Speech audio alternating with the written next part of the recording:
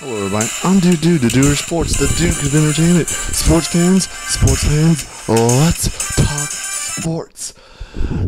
Texas Rangers, Jolly, Do, jo, what, Joey Gallo hits a home run. Oh my, what, what it, it's going, it's going, it's going, it's going, it, it's gone, it's out of here.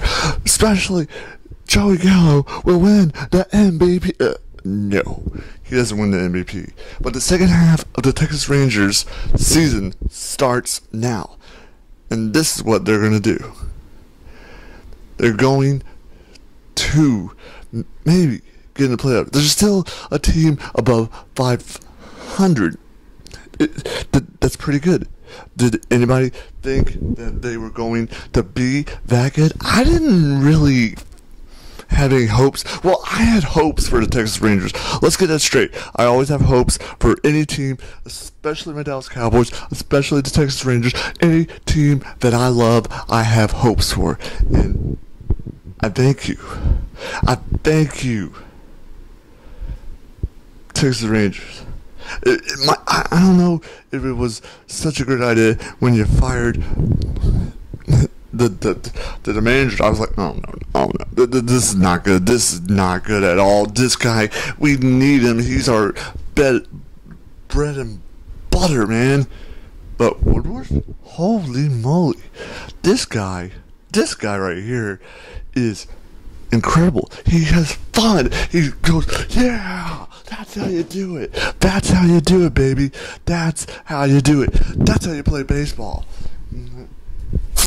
Strike! Yeah! Kind of interesting way he manages his team. I like it. I think it's interesting. I think this team is going somewhere. I might be wrong. I might be wrong. I'm wrong a lot of times. I'm wrong a lot of times on a lot of stuff. You could check the list on everything I'm wrong. But the Texas Rangers, I'm taking a gamble. I'm throwing down the dice. And I could tell you, if you don't gamble, sometimes. You don't have well if you don't gamble then and risk it all as the Texas Rangers are doing because this is a big risk. The, the pitcher Lance Lynn Mike Minor. wow. Wow. Wow. These guys are just incredible. Have you ever seen two pitchers that are just when they go out there, they're, they're gonna strike you out. They're gonna have a complete game. They're gonna do something special. But one question: the trade deadline. Do we buy or are we a seller? I think we stick to our guns. I think we, the Texas Rangers, just go for it. We're buyers. We're gonna buy. Uh, we'll make you this deal. If you don't want to take the deal, then um, yeah, well, we're gonna go over here and talk to this other team and find the best thing that we need to fill in the gaps that really need to be filled. But Houston is really good this year. Texas Rangers can't get off track. Texas Rangers have to have the mindset I have to make sure we have to make sure that we are ready for the playoffs, that we are ready for the playoffs, and that we are ready for any team that comes to fight.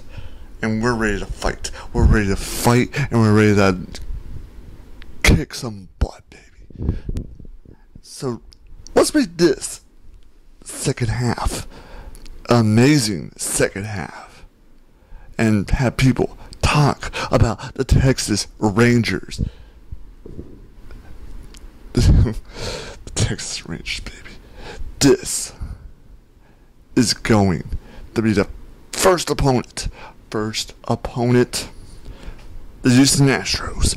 The last, the last, the last time we'll ever play them in the temple. Well, play them in the new temple, but that's next year. And the great memories of the temple.